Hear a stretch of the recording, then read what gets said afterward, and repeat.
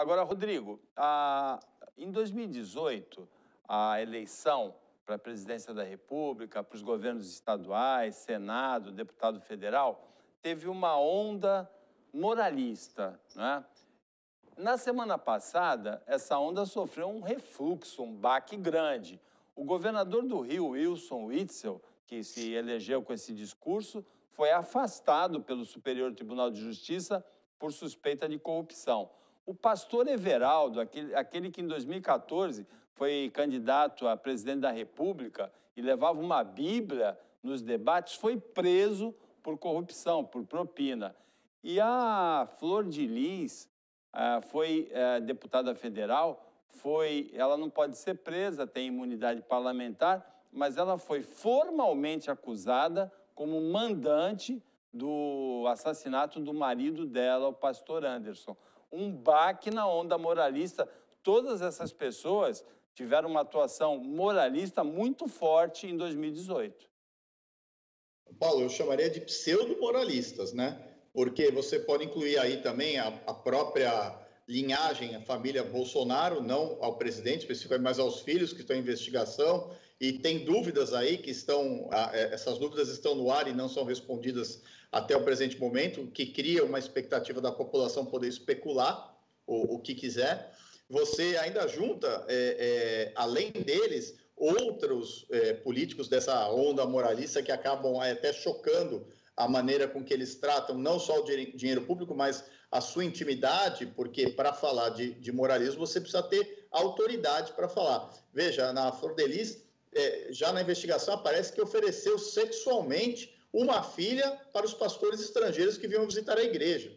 Olha o nível que chega, né? O que me faz acreditar, infelizmente, que essa parte, uma grande parte da, da, dessa comunidade, não do, dos fiéis evangélicos, mas os que comandam a igreja evangélica, tenha um viés que é totalmente financeiro e econômico, nada preocupado com religiosidade. Religiosidade é outra coisa que vai bem longe dos princípios que eles pregam. Então, isso choca bastante, chama bastante atenção. Causa uma frustração no eleitor, causa uma frustração no fiel, por exemplo, que está envolvido e vendo esses escândalos aparecerem.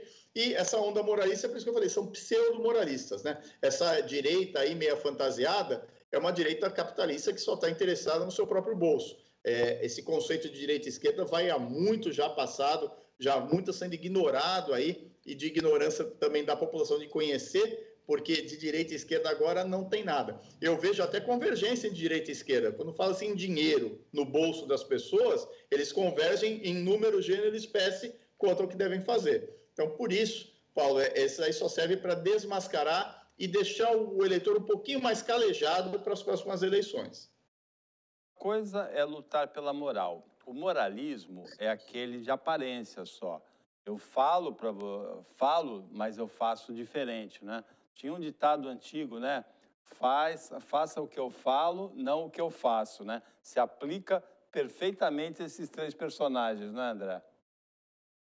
É, Paulo, a gente primeiro a, a gente fica triste, né? Porque coitado do eleitor, né?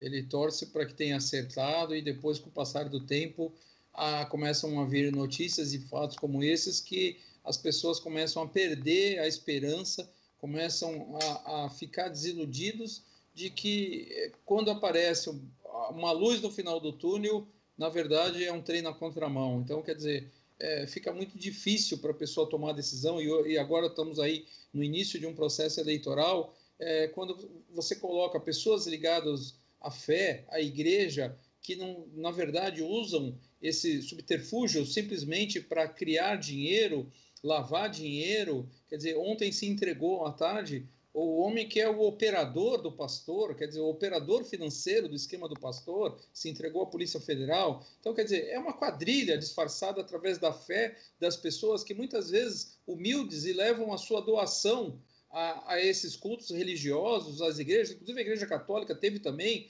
algumas semanas atrás, aí um, um, um, um fato que aconteceu com um o não o pastor lá, o, o, padre da Igreja Católica. Então, quer dizer, é, é, muito triste, né, Paulo? A gente, a gente vê que é, cada vez mais a gente é, é, enganado e cada vez mais a gente tem que ter, principalmente no, no começo de um processo eleitoral desse, e eu sempre falo isso para as pessoas, é, quem é aquela pessoa que você vai dar o seu voto, mas não o que ele é no momento. Investigue o que ele foi no passado. Porque origem humilde, quase todos nós tivemos. Eu mesmo sou de uma origem muito humilde, muitas pessoas, mas a índole, a forma com que as pessoas trataram a sua vida, quer dizer, ah, virou pastor porque no passado teve.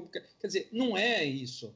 É, eu acho que as pessoas. Caráter é uma coisa que a gente nasce, tem, a família coloca na gente. Então, quer dizer, é, é muito triste para o eleitor ver esse tipo de coisa. Por quê? Porque votou em 2018 em uma coisa que é, é um novo fato, né? Quer dizer, a sociedade está conseguindo acertar. Colocamos lá um governador que é, é juiz federal. É, é inadmissível, na minha ideia, é, que um juiz federal seja afastado por corrupção. É inadmissível, na minha ideia, é, que um pastor, um grande líder religioso nacional, seja afastado por desvio de dinheiro da saúde pública, de uma pandemia, de um caso nacional que mexeu com o mundo, dinheiro que está faltando por pessoas que morreram.